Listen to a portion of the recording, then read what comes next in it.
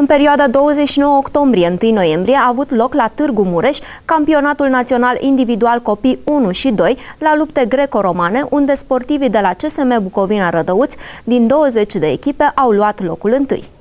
Sportivii de la CSM Bucovina Rădăuți, care au participat la campionatul național individual de copii 1 și 2, s-au clasat pe primul loc dintr-un număr de 20 de echipe participante. La categoria 26 de kilograme a concurat Șcheul Gheorghiță, luând primul loc ieșind și campion național. La categoria 29 de kilograme a concurat Boicu Alexandru, luând locul 3. Lungu Iulian a luat locul 1 la categoria 32 de kilograme, iar la categoria 100 de kilograme au participat Bogdan Viorel și Trufin Ciprian, acesta din urmă fiind desemnat și cel mai tehnic sportiv, luând și aceștia medalii fruntașe. Meritul sportivilor se datorează antrenorului tehnic Ștefan Rusu, cât și copiilor acestuia, antrenorii Rusu Florin și Rusu Cornel.